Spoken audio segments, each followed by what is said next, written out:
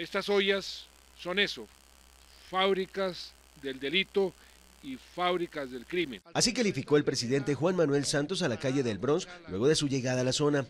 Allí, junto con el alcalde Gustavo Petro, fueron recibidos por los habitantes del lugar, quienes querían escuchar de ellos soluciones a problemáticas de la zona, como la inseguridad y el consumo de drogas. Luego de la reunión con todas las autoridades, el presidente felicitó al alcalde Petro por la intervención que ha realizado en la zona, tanto en materia de seguridad como en materia de salud. Tengo que resaltarlo también porque es algo muy importante con un trabajo social que la alcaldía ha venido haciendo.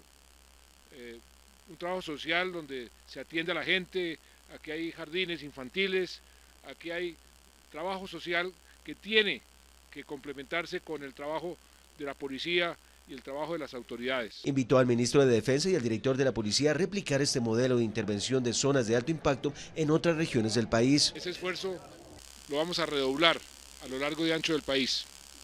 De manera que mm, yo quiero felicitar a la policía, a la alcaldía, eh, esto que han hecho aquí en el Bronx, señor ministro, que usted hace un año, me acuerdo muy bien cuando vino a, esta intervención. Por su parte, el alcalde Gustavo Petro reiteró su propósito de mantener allí a los profesionales de su administración, quienes han venido adelantando el proceso de resocialización de habitantes de calle con la única intención de ofrecerles una vida digna. Insistió en la necesidad de darle continuidad a políticas como estas que marcarán el futuro de toda la ciudad. Esperamos que en unos meses eh, pueda cuando ustedes vuelvan a tomar imágenes de esta calle, encontrar belleza en el exterior de los edificios, porque la belleza no segregada, la que se le entrega a todo el mundo, la que puede ser captada además por todo el mundo, es uno de los principales instrumentos para la dignificación humana.